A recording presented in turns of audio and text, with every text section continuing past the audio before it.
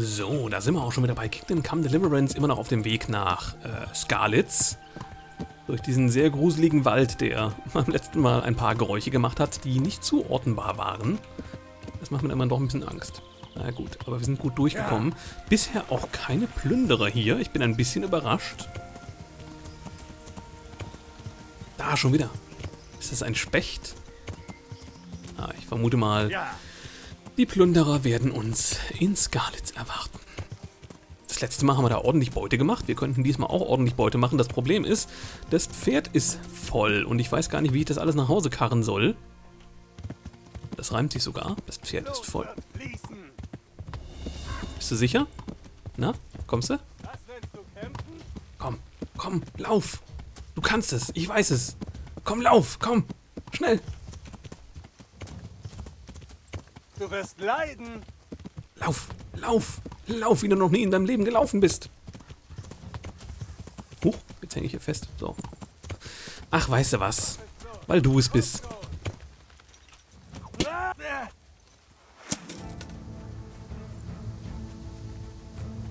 Trau dich doch. Okay.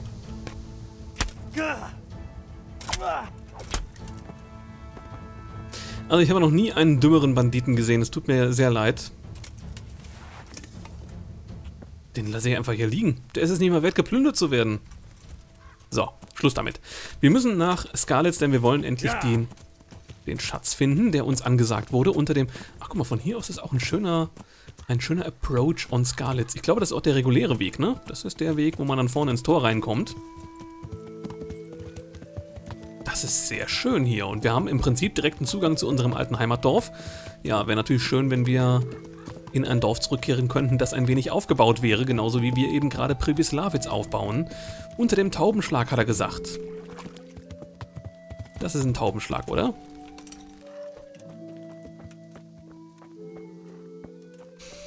Äh, da war doch was. Nee, das ist nur eine Brennnessel. Ja, gut. Wir müssen nochmal genau gucken, was er gesagt hat. Nicht, dass wir jetzt hier Ewigkeiten hin und her laufen und nicht genau wissen, wo wir hin müssen. Der Schatz. Angeblich gibt es einen äh, in Skalitz trotz der Plünderung noch einen Schatz zu holen. So. Mhm, mhm, mhm. Wie jemand von Wertgegenständen sprach, die in Skalitz unter einem Taubenschlag versteckt sein sollen. Das hier ist doch ein Taubenschlag, oder? Also es wäre jetzt zumindest nicht ungewöhnlich, aber vielleicht ist es nicht gerade der Taubenschlag, der gemeint ist. Die müssten doch mittlerweile alle total vergammelt sein, die Viecher, die hier rumliegen. Wobei, ja gut, da sieht man auch schon. Bisschen was ist auch schon skelettiert.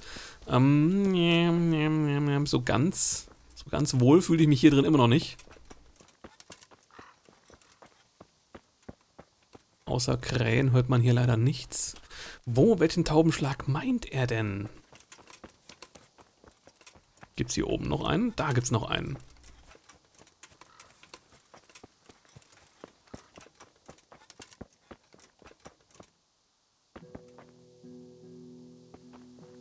Ist hier ein Schatz? Nein, hier gibt's offenbar auch keinen, oder? Moment, da war was. Beginnen zu graben. Ah doch, guck mal. Das ist der Taubenschlag. Aber das hätte ich jetzt ehrlich gesagt nicht gesehen. Also, das war jetzt nicht sehr offensichtlich. Und wenn ich da jetzt nicht aus Versehen unten rechts die Einblendung gesehen hätte, wäre ich hier, glaube ich, wieder vorbeigelaufen. Hätte einen anderen Taubenschlag gesucht. Aber gut. Äh, das ist alles kaputt. Wow. Boah, ich bin begeistert. Ich bin absolut... Und das muss ich jetzt auch noch mitnehmen, oder was?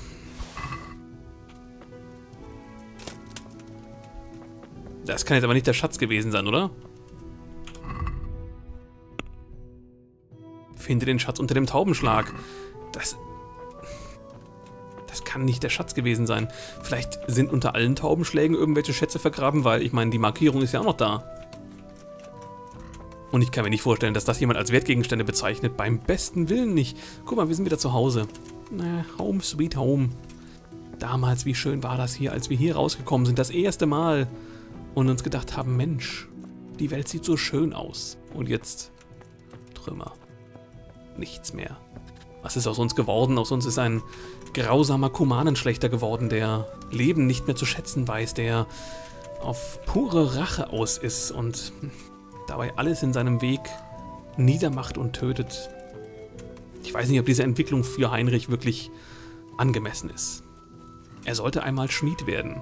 Was ist er jetzt? Ritter und Vogt. Hier ist kein Taubenschlag mehr, oder? Es gab doch diesen Taubenschlag da unten bei dem Deutschen, wo wir Fäkalien an die Hauswand geschmiert haben. Könnte es sein, dass da eventuell was ist. Ich versuche mal hier rüber zu kommen. So, mit einem geschickten Hechtsprung schafft der Heinrich das auch in Rüstung. Er ist ja ein sehr fideler junger Mann. Da ist der Taubenschlag. Das habe ich gemeint. Zwei sogar. Ja gut, dann schauen wir doch mal. Gibt es hier was zu graben? Löwenzahn. Na gut. Gibt es hier was zu graben? Hier nicht. Vielleicht da hinten. Gibt es hier was zu graben? Hier gibt es nur Brennnesseln. Ja, langsam gehen mir die Ideen aus. Ähm, hm.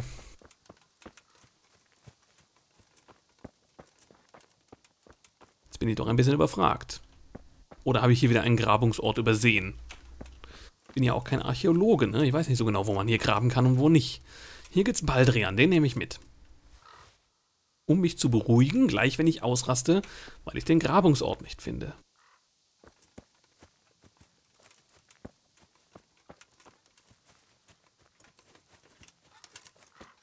Tja. Dann gehen wir mal hier unten runter. Aber es muss ja irgendwo in der oberen Siedlung sein, ne? Also unten die andere Siedlung wurde uns ja auf der Karte nicht angezeigt. Nicht als Suchort hier. Also hier meine ich jetzt, hier ist nichts. Das heißt, das muss hier oben irgendwo sein. Die Frage ist nur, wo? Und warum haben die eigentlich so viele Taubenschläge hier? Ich meine, was machen die mit den Tauben? Essen? Da bin ich mir jetzt echt nicht sicher. Also wenn das einer weiß, warum hatten die in diesem mittelalterlichen Dorf das ja ihr das gehört? Äh, in diesem mittelalterlichen Dorf, das ja, äh, soweit ich weiß, möglichst realitätsnah dargestellt werden sollte. Ah ja. Warum hatten die hier so viele Taubenschläge? Das ist mir nicht bekannt.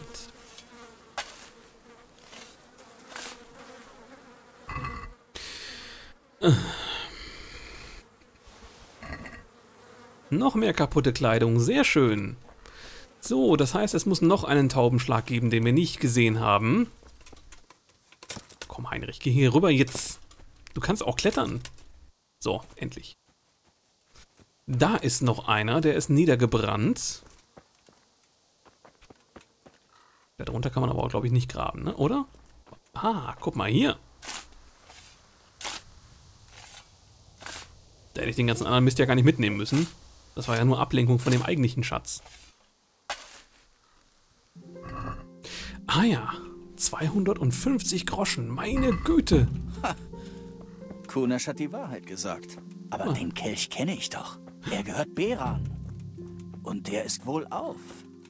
Ich habe ihn in Ratei unter den Flüchtlingen gesehen. Er trägt stets rote Kleidung. Was nun? Oh oh. Das heißt, eigentlich müssten wir die Fundsachen hier zurückgeben, aber ich kann doch nicht diesen wertvollen Kelch und die 50 Groschen, die ich gefunden habe, die kann ich doch nicht äh, weggeben, die brauche ich doch. Naja. Immerhin, Kunesh hat uns die Wahrheit gesagt und wir konnten ein bisschen was von den Wertgegenständen zurückholen, die der junge Mann in Ratei offenbar zurückgelassen ja. hat. Das finde ich gar nicht mal so schlecht. Wir begeben uns wieder nach... Ach, guck mal, wir könnten unten an... Äh, wie hieß nochmal das Dorf da hinten? Rovna. Dann reiten wir einfach mal an Rovna vorbei. Wir gucken mal, ob wir vielleicht noch den einen oder anderen Banditen hier auf dem Weg finden. Dann könnte man nämlich noch ein bisschen plündern. Das tut der Haushaltskasse immer sehr gut. Deswegen würde ich die auch gerne mitnehmen. Da vorne waren doch immer Banditen in dem, in dem Rondell drin da. Und was ist eigentlich aus dem Typen geworden, der hier na, seinen Hof wieder aufbauen wollte? Ja. Der, der, der wollte, dass der Pfarrer wieder zurückkommt. Der Pfarrer ist ja mittlerweile wieder da, den haben wir ja gerettet von den Halunken, die ihn in den Bergen gefangen hielten.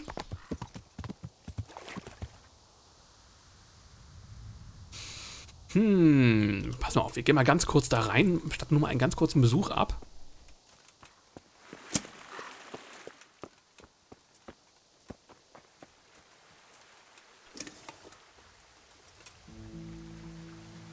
Können wir ja ein bisschen heimlicher sein.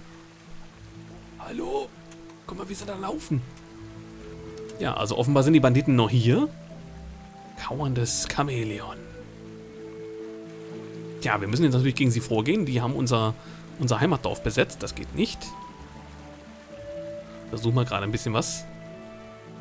Ach, guck mal, da hinten kommt er jetzt. Er setzt sich dahin. Was ist das? Komm, die entdecken mich doch sowieso bestimmt gleich. Ach, jetzt hänge ich hier an diesem Ding fest. Er läuft jetzt da entlang. Das heißt, wenn wir da hinten lang gehen, dann könnten wir den einen vielleicht schon mal in, in den Rücken stechen. Niemand.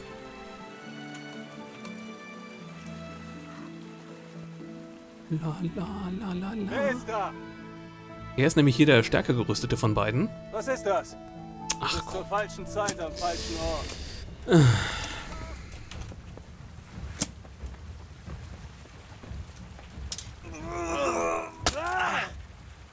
Komm her, du. Was ist los?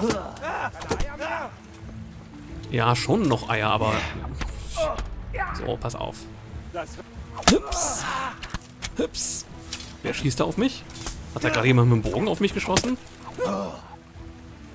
Tatsache, da steckt ein Pfeil in mir. Das muss ja jetzt nicht sein, oder? genug. Ich ergebe mich. Ja, das ist mir ziemlich egal. An, was da unter dem Stein hervorgekrochen Ich bin nicht unter einem Stein hervorgekrochen, sondern ich kam gerade aus Skalitz. Ja, das sei mal dahingestellt. Der Bogenschütze geht mir ein bisschen auf die Nerven da hinten gerade, aber soll er ruhig machen, wenn er meint, er müsste das so tun. Na gut, du gewinnst. Ja, ich gewinne, weil du bist tot. Das ist das Problem an der Sache. Äh, so, Herr Bogenschütze. Ja, ja, ich hab's gemerkt. Da. Für dich. Ein paar Schwerthiebe. Noch jemand ohne Fahrschein? Niemand mehr ohne Fahrschein. Ja, sehr schön. Gut, wir haben ein bisschen Leben verloren. Unsere Rüstung ist wahrscheinlich auch wieder ein bisschen angedutscht, aber die können wir ja jetzt bei uns zu Hause renovieren. Äh, renovieren vor allen Dingen. Die können wir reparieren bei uns zu Hause. Ach, guck mal, da ist noch einer. Dich haben wir ja ganz da? übersehen. Guck mal, ich bin da, der Heinrich. Gebete wurden erhört. Deine Gebete wurden erhört, das glaube ich nicht.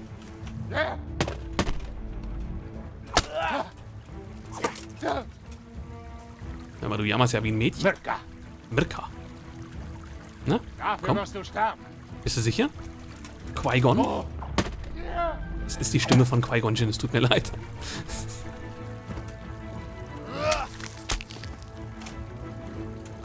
So, Banditenlager wieder ausgehoben, das macht mich sehr glücklich. Bisschen mh, Plündergut können wir auch mitnehmen. Hier vor allen Dingen seine Rüstung sieht relativ teuer aus. Äh, Kyras, ja, sowas ist immer schön. Den Kettenpanzer lasse ich mal da. Die Handschuhe kann man gut verkaufen, das kann man gut verkaufen. Dinge, die halt nicht so viel wiegen, aber relativ teuer sind, ne? Gerade jetzt, wo wir noch so viel zum Ausbauen haben in unserem Dorf. Also wenn ich da allein an die Schenke denke. Wenn ich an die Schenke denke, dann ist es vielleicht relativ sinnvoll, wenn wir einfach möglichst nochmal hier ein bisschen Plündergut mitnehmen. Und vor allen Dingen, wir waren ja jetzt gerade mal hier in der Ecke. Ne? Also normalerweise müssen wir ja immer ewig weit laufen, bevor wir dann mal jemanden finden. Oder sie finden uns auf der Straße. Der hat ja jetzt wirklich mal gar nichts dabei, was irgendwie sinnvoll ist. Ja, den Bogen können wir mitnehmen, der wiegt nicht so viel. Und das Ding hier. Und sein Schwert natürlich. Der... Ja, ja. Die Duellklinge. Hatten wir schon mal eine Duellklinge? Ich glaube nicht. Sieht ganz schick aus. Was du denn hier? Kommst hier anmarschiert? Sag's nix. Nie mal Hallo?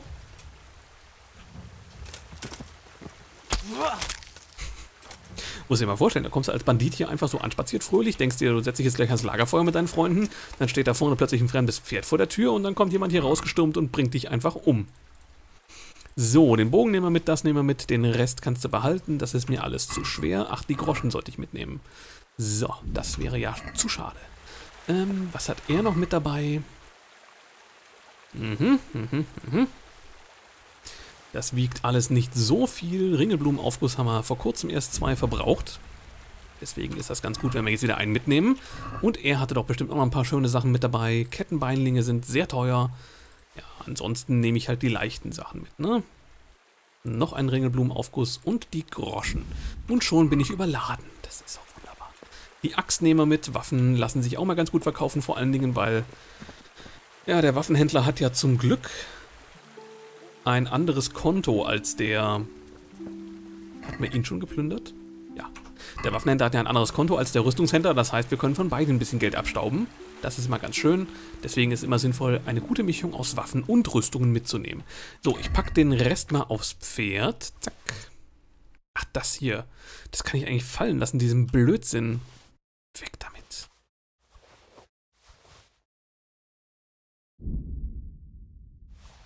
So, ich packe jetzt mal nur das aufs Pferd, was auch wirklich Sinn macht.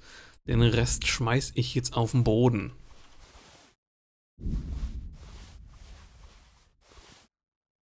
Dann können Sie nämlich davon ausgehen, dass sich hier offenbar jemand ausgezogen hat und nachdem er sich ausgezogen hatte, ging quasi die Mordorgie los. Also das ist für CSI Scarlets, wird das hier ein Riesenfall werden. Und da tun sich Abgründe auf, das sage ich euch.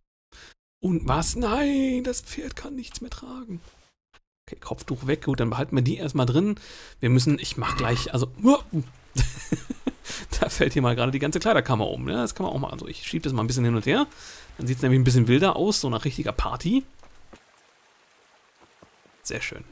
So, äh, ich mache jetzt gleich mal zwischen den Folgen, machen wir gleich eine ganz kurze Aufnahmepause und zwischen den Folgen werde ich dann mal äh, rumreiten und überall Sachen verkaufen und möglichst das Pferd wieder komplett leer machen. Dann haben wir nämlich auch wieder ein bisschen ja. finanzielle Mittel übrig. Das sollte nicht so schlimm sein. Äh, was anderes werde ich nicht machen. Aber gut, das, das sind so Sachen, die, die packe ich ja nicht mehr mit in die Folgen. Was wollte ich jetzt machen? Ich wollte nach Rattay. Da müssen wir so oder so hin, denn wir müssen ja mit Kunisch reden, der jetzt ja vielleicht mitkommt. Das wäre schön. Dann haben wir nämlich einen alten Freund aus Skalitzer Zeiten. Gut, er ist kein Freund in dem Sinne, aber wir kennen ihn ja zumindest aus Skalitz, ein Wanderer.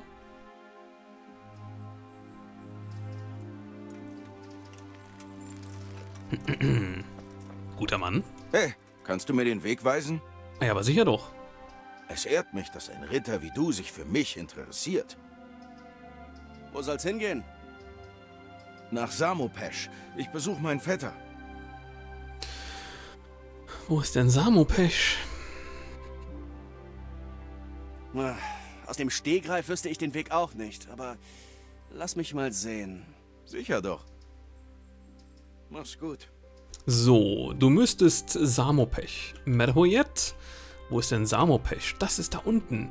Das heißt, du musst hier rechts den Hügel rauf und dann nach Süden. Ja, ja, so, so, so müsste das sein. Wo soll's hingehen? Hm, das hast du nach mir schon erzählt. Samopek. So, du musst nach Osten stromaufwärts, du musst nach Süden bergauf. Samopesch liegt südlich, auf dem großen Hügel. Ein gewundener Pfad führt dorthin. Hab vielen Dank. Gern geschehen. Lebe wohl. Hm, na guck mal, da haben wir unsere gute Tat für heute auch getan. Normalerweise entdecken wir auf dem Weg nur irgendwelche Leute, die uns ausrauben wollen. Und diesmal haben wir einen Händler entdeckt, beziehungsweise einen, einen Reisenden, dem wir weiterhelfen konnten. Wir konnten mal was Gutes tun. Juhu! Ich bin so glücklich. Auf zum unteren Tor von Ratay. Jetzt kommen wahrscheinlich als nächstes Banditen und die haben dann den Händler auch schon verknuspert. Der liegt dann irgendwo tot in der Ecke rum. Ja, dann hat sich die gute Tat auch schon wieder erledigt. So ist das ja meistens hier. Also, neben Witcher 3 hat mich, glaube ich, Kingdom Come am meisten gelehrt, dass äh, gute Dinge tun meistens darin endet, dass irgendwas Böses passiert.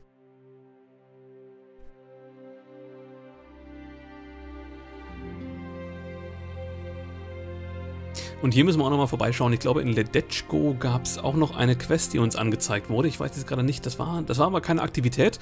Das war eine richtige Nebenquest. Ne? Dann müssen wir mal einmal vorbeischauen und gucken, was das für eine Nebenquest war. Und es gab noch eine in Urschütze. In Urschütze können uns die Leute ja mittlerweile wieder... Ach, guck mal. Ist das der gleiche Wanderer oder ist das jetzt ein anderer? Warum ist es so dunkel? Du bist aber kein Wanderer, du bist eine junge... Ich kann nicht weiter. Warum nicht? Was ist passiert? Schreckliche Dinge, Herr. Schreckliche Dinge. Gott straft mich scheinbar, aber ich weiß nicht wofür. Diese Teufel töteten meinen Mann und nahmen mich. Ich bekam das Kind im Wald, wie ein Tier. So bettle ich hier am Wegesrand. Nichts ist mir geblieben. Zeig Milde, guter Herr. Ein paar Groschen, Herr, damit ich Milch für das Kleine kaufen kann. Ja, weißt du, was ich hier gerne machen würde, wäre natürlich zu sagen, komm doch nach Pribislawitz, da gebe ich dir eine Anstellung aus Hausmarkt und dann kannst du dein Kind da versorgen und alles wird gut. Ähm, ja, aber das können wir leider nicht. Wir können ihnen tatsächlich nur Groschen geben. Oder was zu essen. Aber ich denke, mit den Groschen ist sie erstmal besser bedient. Natürlich. Bitte sehr. Danke, Herr. Möge Gott dich segnen. Na schau mal, schon zwei gute Taten vollbracht auf dem Weg nach Ratei. So viele gute Taten sind uns bisher noch nicht über den Weg gelaufen. Also das äh, scheint mir jetzt doch relativ neu. Hm. Irgendwas Seltsames ist in der Welt vor sich gegangen. Die Matrix wurde verändert. Ach, guck mal, wie romantisch das mit dem Feuerchen da hinten aussieht. Wir müssten auch nochmal bei Theresa vorbeischauen. Herrlich. Hier abends, ne, also wenn du im Sommer hier abends sitzt, hast dein Feuerchen hier knistern, kannst unterm Baum sitzen, trinkst dabei ein bisschen was, einen guten Wein oder ein Bierchen, hast hier den Fluss vorbei. Gut, du wirst natürlich von Mücken zerfressen bis zum geht nicht mehr, aber trotzdem, es ist gemütlich, es ist entspannend, es ist ruhig, es ist wundervoll sowas. Also, wer sowas noch nicht gemacht hat, ich empfehle jedem mindestens einmal ein relativ schlichtes Lager irgendwo in der Natur aufzuschlagen, naja, und da einfach die Zeit zu genießen und vielleicht auch mal nicht alle zwei Sekunden auf die Uhr zu schauen oder sich zu überlegen, was man noch alles für Termine hat. Das einfach mal ablegen und ja, vor sich hin leben. Oder wie das eine Freundin von mir immer gerne sagt, verweilen. Eine, ein, ein, ein, ein wenig verweilen.